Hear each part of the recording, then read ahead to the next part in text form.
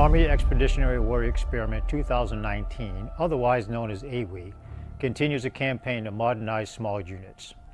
AWE is a cornerstone among several standalone Army Future Command experimentation venues that are critical to modernize the force in the near and midterm time horizons.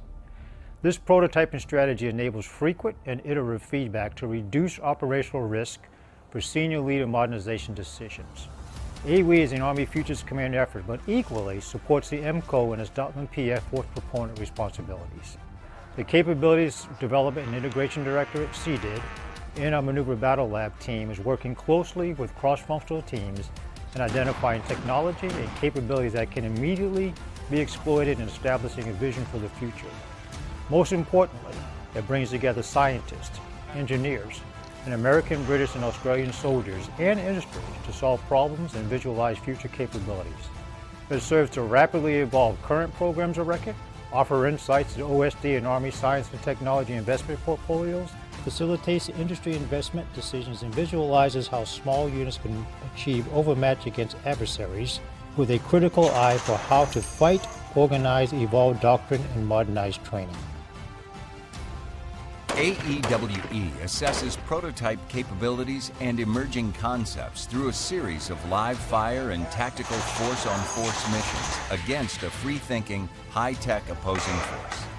Soldiers participating in AEWE provide feedback and assist in concept refinement that enables rapid development of new tactics, weapons, and technology solutions.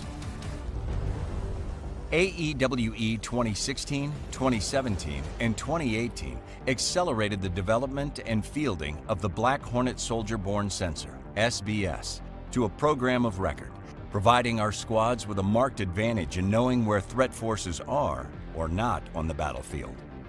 Our small unit mission command system, Net Warrior, is a staple within the AEWE campaign. We continue to look at ways to optimize this system to better serve our small units. The goal for each brigade fielding the system is to be more capable, soldier-friendly, and intuitive. AEWE 2019 assessed technologies and concepts focusing on small unit lethality, sustainment, mobility, mission command, survivability, and training.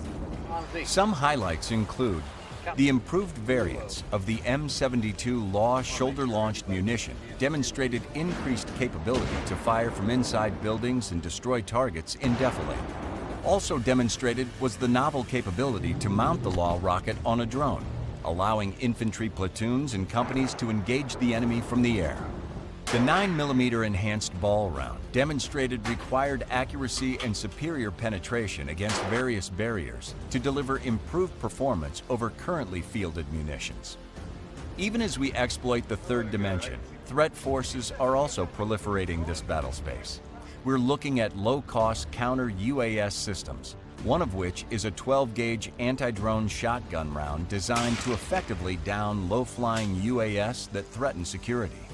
We continue to evaluate unmanned aerial capability improvements such as UAS extended flight time, better imagery, and integration, which will influence how small units fight. Experimentation efforts are enhanced through a collaborative relationship with our closest allies. The U.S. Army's AEWE and the British Army's Army Warfighting Experiment, or AWE, are similar and complementary experiments conducted in support of modernization efforts focused on the soldier and small units. A reciprocal exchange of forces between the U.S. Army and the British Army was formalized in 2017 in an effort to enhance the synergy of Allied collaboration and accelerate learning. In November 2018, a U.S. infantry platoon traveled to the UK to participate in the British Army's Army Warfighting Experiment. This year's AEWE included further Allied collaboration with an Australian reconnaissance team joining the experiment. As the Army Futures Command evolves the AEWE campaign and others like it, it is important to provide the opportunity for frequent and iterative reviews of concepts, capabilities, and technologies. Industry and Army labs have already proven that they can implement soldier feedback faster than the Army can revisit. Standard evaluation events provide the opportunity for scientists, engineers, industry, and operators to keep moving forward to accelerate decision making.